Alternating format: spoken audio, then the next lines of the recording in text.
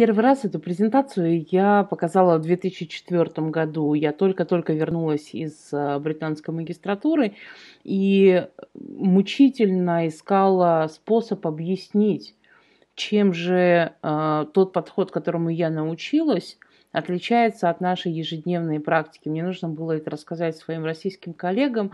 Я никак не могла, никакие слова не помогали, никакие объяснения и жесты э, не помогали объяснить разницу. И э, эта презентация реально мне приснилась.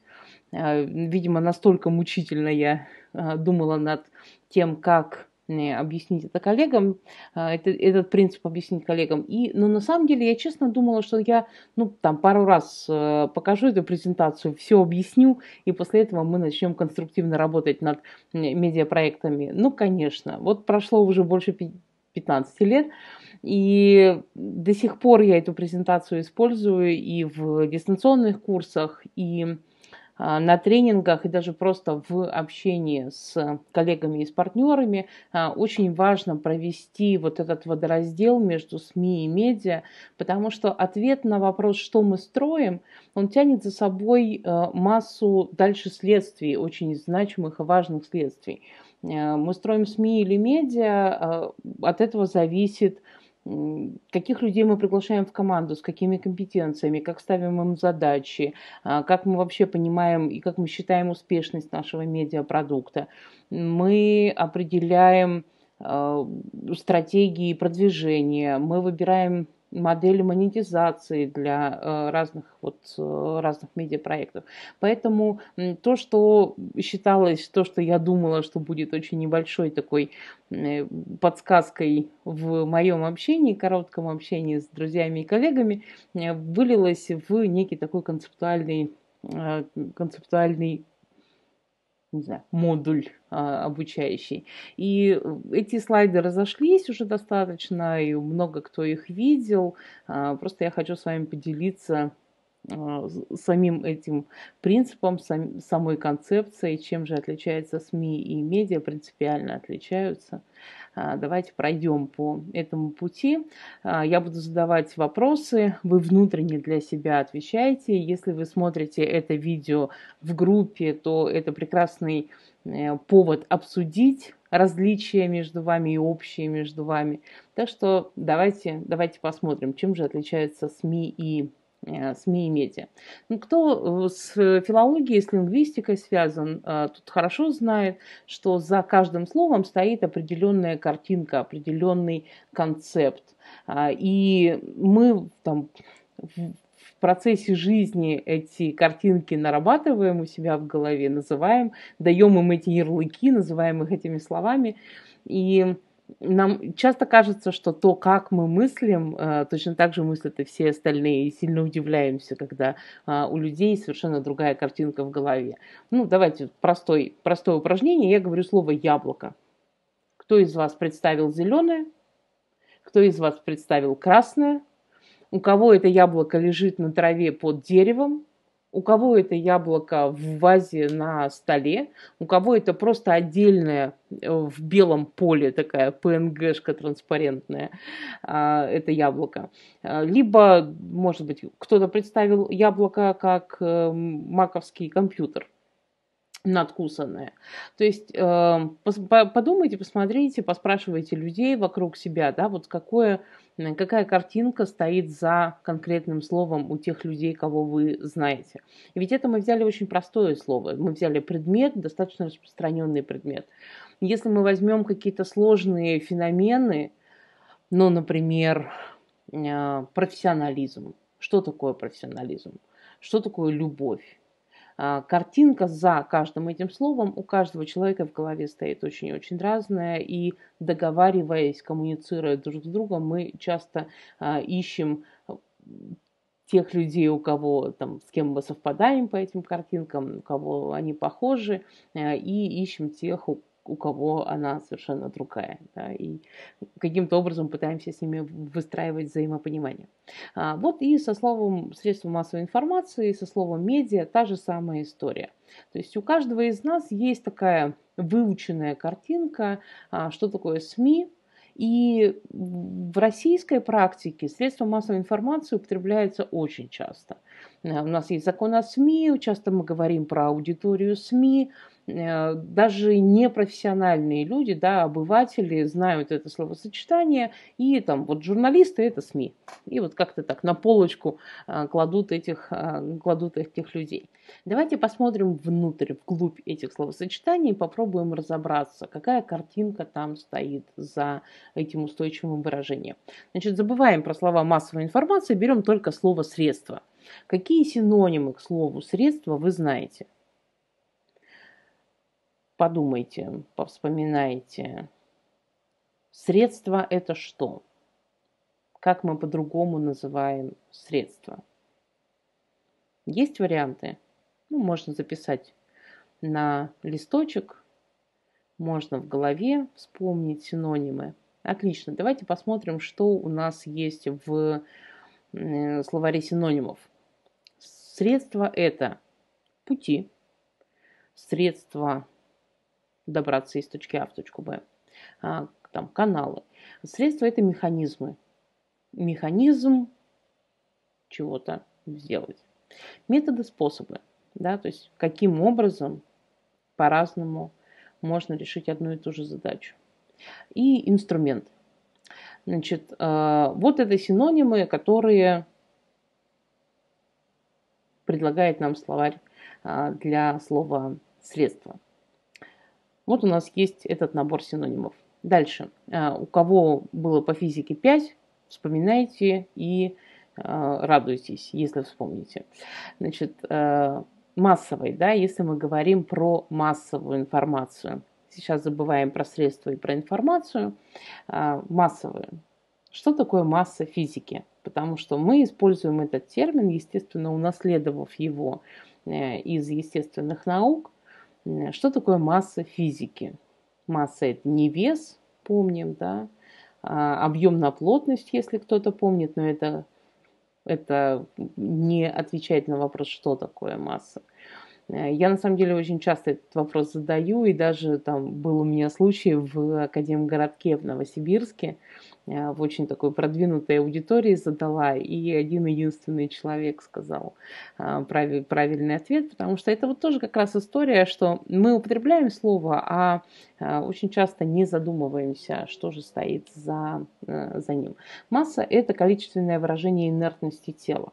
То есть чем больше, чем массивнее тело, тем оно более инертно, тем большую работу нужно сделать, чтобы сдвинуть а, это тело с места. Или наоборот, если оно раскочегарилось и огромный бетонный шар катится у вас по главной улице вашего города, то для того, чтобы его остановить, он очень инертный, да, то есть он продолжает, продолжает катиться. Чтобы его удержать, вам действительно очень и очень много усилий нужно приложить.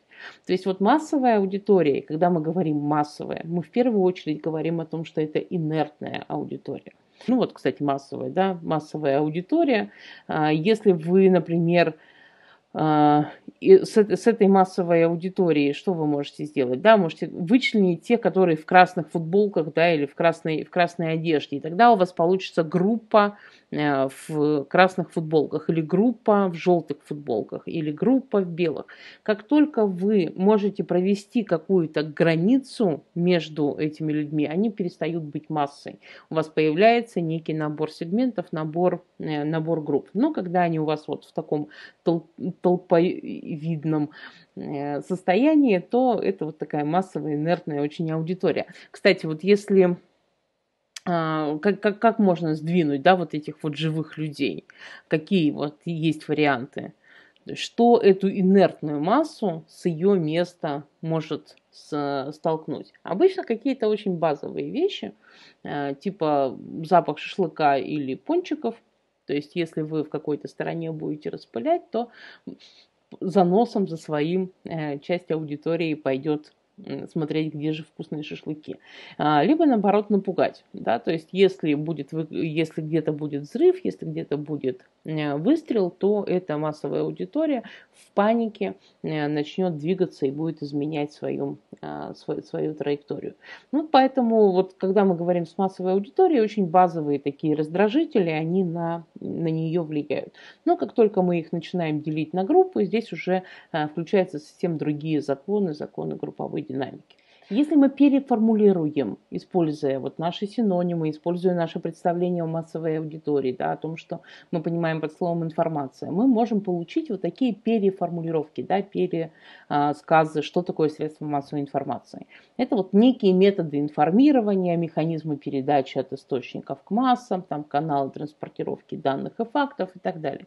То есть вот это средство массовой информации э, мы пересказали а, после того, как мы а, покопали чуть поглубже, что такое средство, что такое масса и что такое информация. А, вот можно в такой формулировке да, объяснить, что такое средство массовой информации. Можно э, нарисовать картинку. То есть есть некие источники информации и есть некая широкая массовая аудитория. И вот СМИ – это способ транспортировки этих данных до массовой аудитории.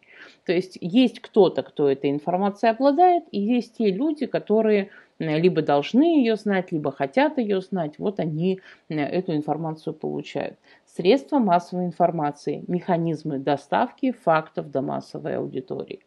И очень часто, когда я показываю эту картинку, люди спрашивают, а где же стрелочки в обратную сторону? Э, в концепции средств массовой информации этих стрелочек нет. Ну, попробуйте повлиять на то, что войдет в выпуск новостей телевизионных или то, а, как будет собран редакцией выпуск газеты. То есть а, вы, конечно, можете позвонить в редакцию и сказать, как вы не освещаете такую-то тему, или наоборот, я вам там пресс-релиз выслала, срочно опубликуйте. То есть вы можете э, хотелку, конечно, эту послать, но по большому счету вы не влияете на содержание, вы не, не влияете на э, эфир, на порядок э, расстановки сюжетов и так далее. И, в принципе, по большому счету, редакция СМИ не сильно-то и зависит от этой обратной связи.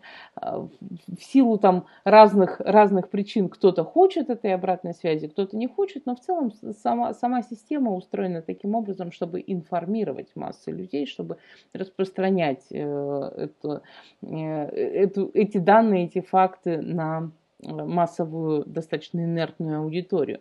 И смотрите, вот в этой логике, в этой схеме, как быть успешным? Вы можете захватить источник информации.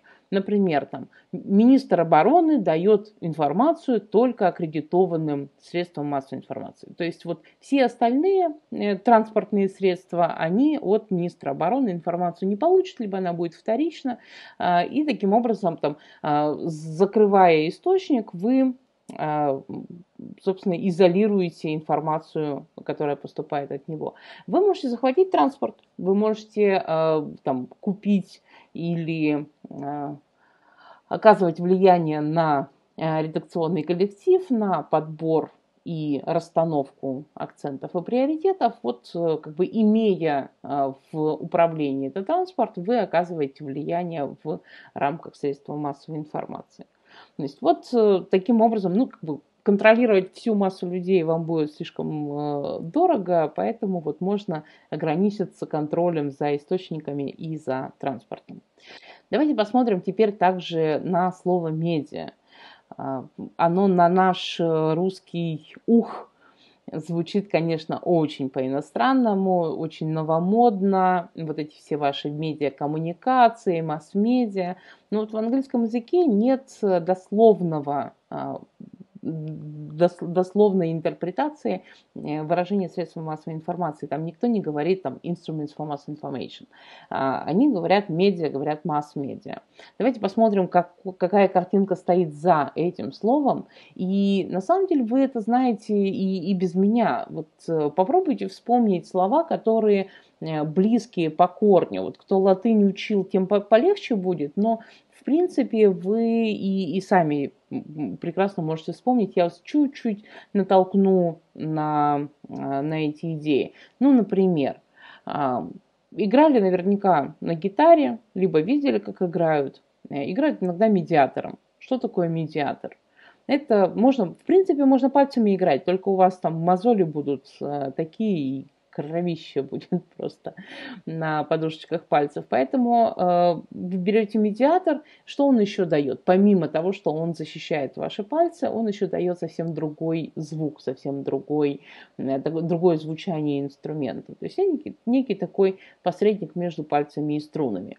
Э, кто в геометрии был силен, э, вспоминаем, что такое медиана. Э, это отрезок из вершины треугольника к середине противоположной стороны. Если кто-то ходил к гадалкам и к посредникам между, ну нет, хотя у гадалок там другая специализация, медиум это посредник между э, миром духов и миром на, нашим земным, то есть это вот такие посредники между разными, разными реальностями, люди, которые сшивают между собой пространство и время.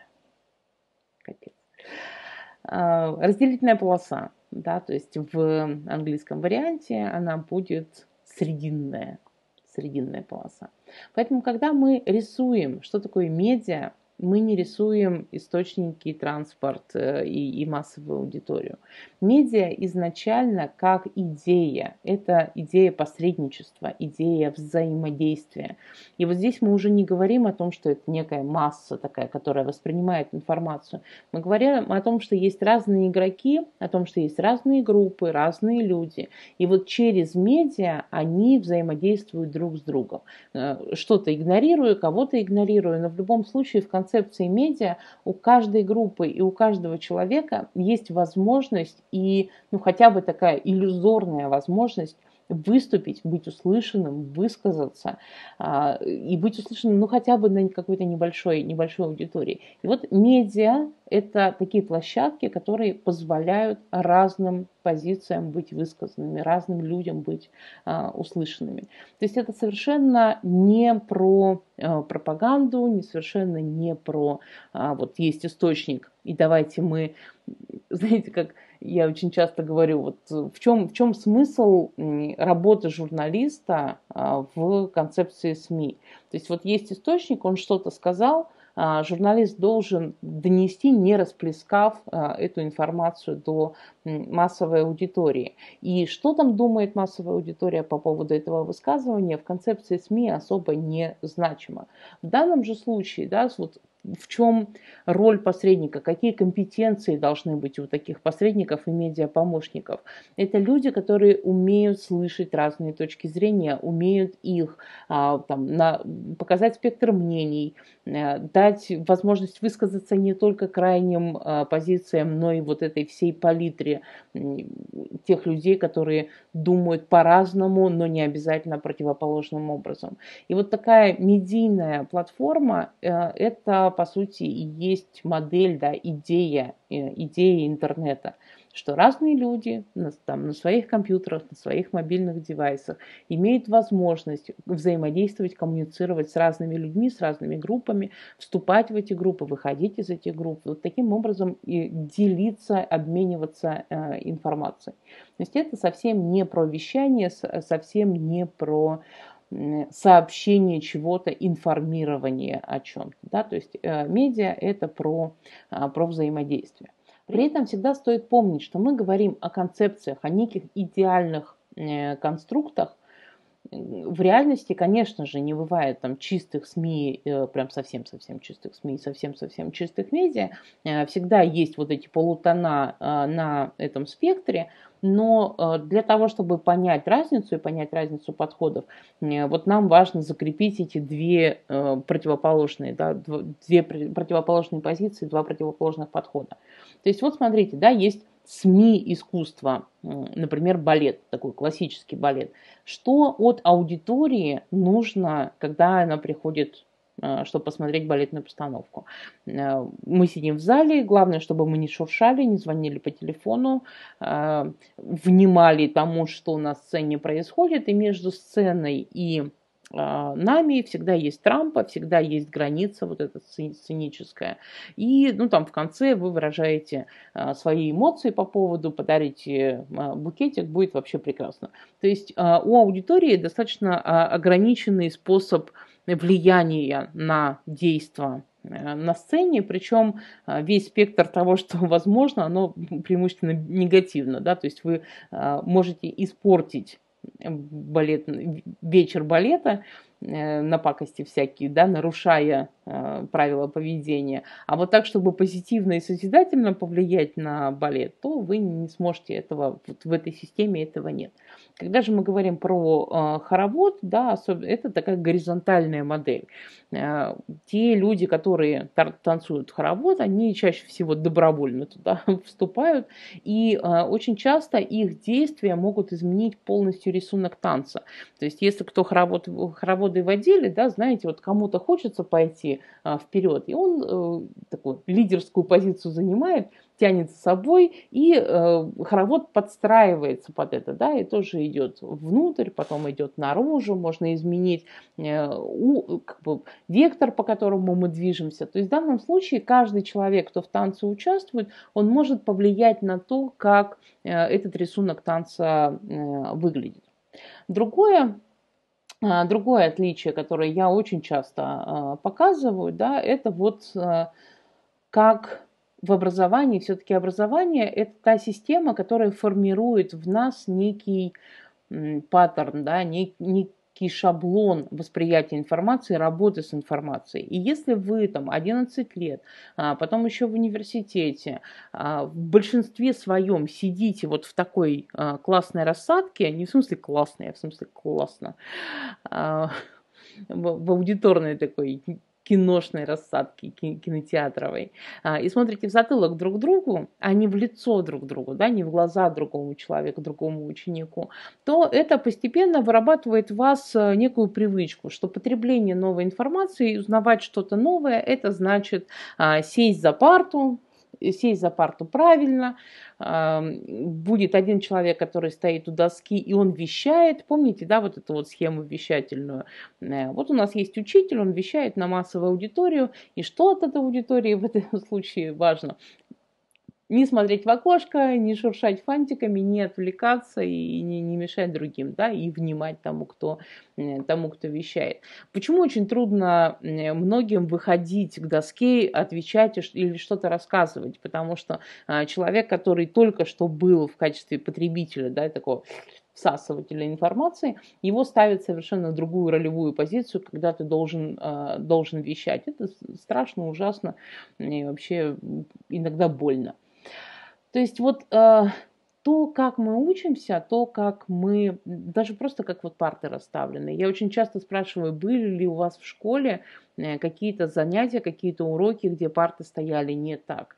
Иногда говорят там на истории меняют расположение парт, на литературе, на английском, э, ну там на иностранном языке, да. То есть вот как только чувствуете, как только нужна коммуникация, как только людям э, в рамках образовательного процесса, обучающих каких-то мероприятий, им важно, чтобы люди друг с другом коммуницировали, Парты должны стоять не так, парты должны стоять так, чтобы люди видели друг друга, да, то, что у нас а, в случае с круглым столом, когда мы видим, мы можем переключать внимание, мы видим каждого говорящего, это вот как раз медийная такая рассадка коммуникативная коммуникативная, э, которая помогает коммуникации.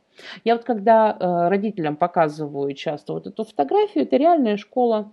А, когда я показываю такую фотографию, у них, э, у многих, у многих очень часто первая реакция, «А, где дисциплина?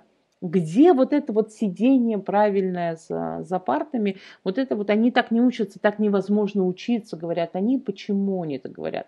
Потому что их э, опыт, их паттерн, выученный паттерн поведения говорит о том, что учиться надо в вещательной среде. Э, и вот здесь, если вы видите, да, то есть это абсолютно медиа-концепция. Вот есть разные группы, есть маленькие, да, вот в паре они работают. Есть какая-то групповая, которая смотрит э, какой-то видеоурок. Есть некая мастерская, есть самостоятельное э, изучение, самостоятельная работа. И вот это все, это некий такой процесс эм, обучающий. И это медиа-подход, в данном случае к образованию, но для э, вот, э, концептуально нет большой разницы между медиапроектами и образовательными проектами. Мы и там, и там работаем с информацией, мы и там, и там работаем с аудиторией. Тематики разные, условия разные, но в целом это вот как из одного мозга информацию мы передаем а, в мозг других людей. То есть а, почему люди удивляются, возмущаются и гневаются, глядя на такой подход? А, не потому, что люди плохие, не потому, что а, там что-то правильно, что-то неправильно, а потому что они не умеют, у них нет в опыте получения информации вот по такой модели. Они не знают, как себя вести, они чувствуют себя неловко, они не чувствуют себя крутыми и знающими, как эта система устроена, и поэтому они начинают испытывать какие-то э, какие эмоции по этому поводу.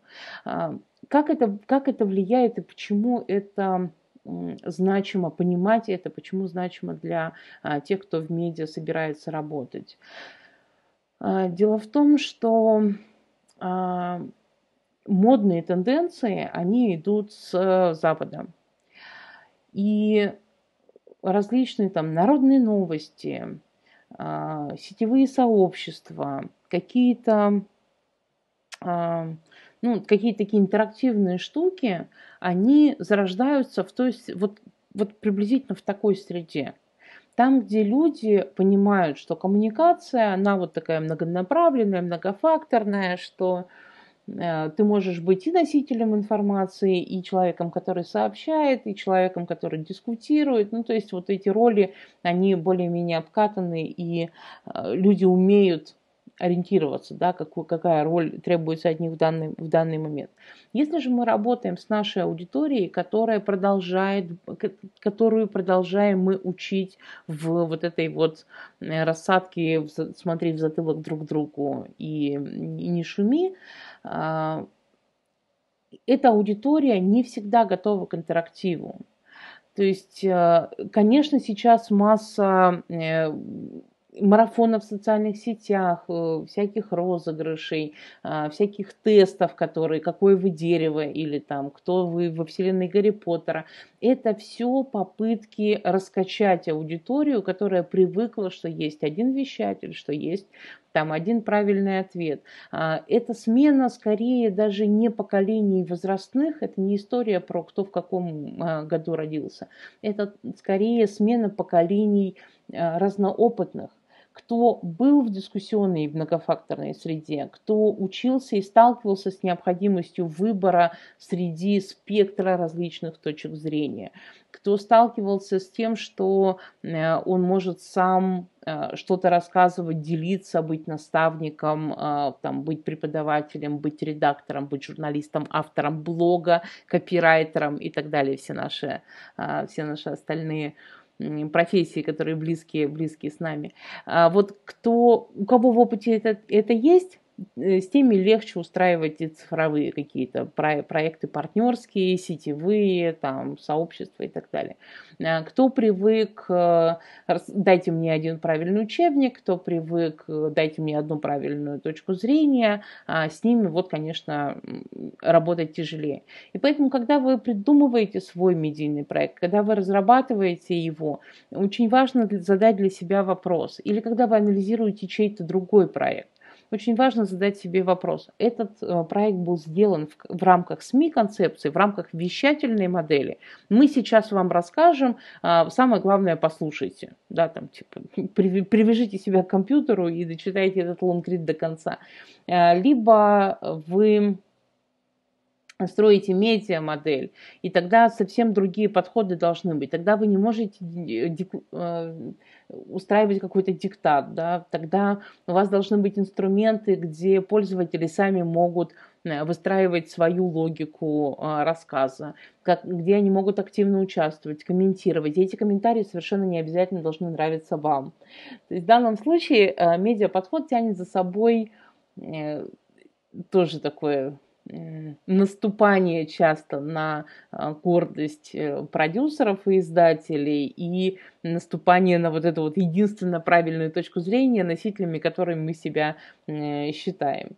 А, жить в многополярном, жить в медийном мире э, сложнее, потому что вам нужно учитывать так много факторов, которые влияют на вашу позицию. Важно проверять, перепроверять информацию. Важно помнить о том, что картинки со словами у разных людей стоят э, разные. Но всему этому можно научиться, этому всему стоит учиться, потому что а, вещательная модель, она вот какую-то свою роль в развитии Э, масс-медиа сыграла и какую-то небольшую нишу занимает, но в целом, конечно, мир коммуникативен. Мир – это а, пространство для информационного взаимодействия, для информационного обмена, а не для какого-то такого одноканального, однонаправленного э, вещания.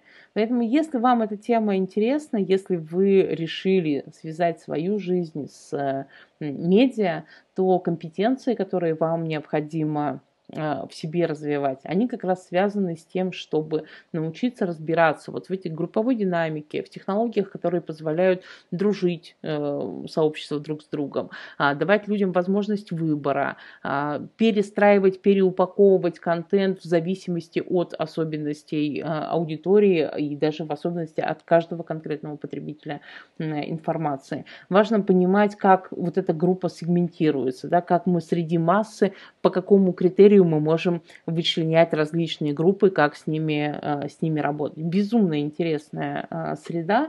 И в нашем случае, да, с, с нашей образовательной традицией э, добавляется очень важный вопрос, а каким, как, каким образом мы будем адаптировать тех людей, которые в системе образования выросли вот в этом паттерне вещания, как мы будем сокращать вот этот разрыв между коммуникативным медийным миром, который мы хотим создавать и в котором мы сами погружены, а, и вот а, той традицией одного правильного учебника, а, сидения с со сложенными ручками и задать, чтобы задать вопрос, нужно, нужно поднять руку.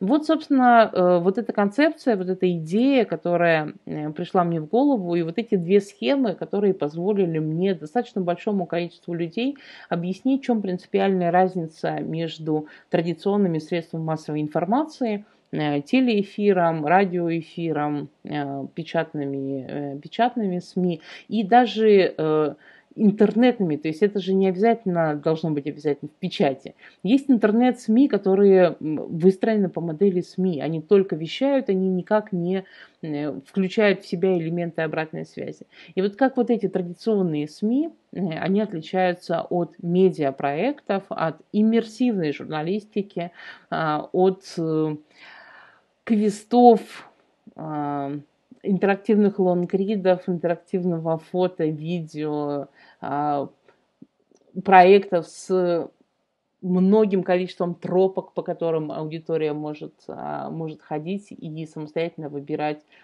по какой логике она будет эту информацию э, получать.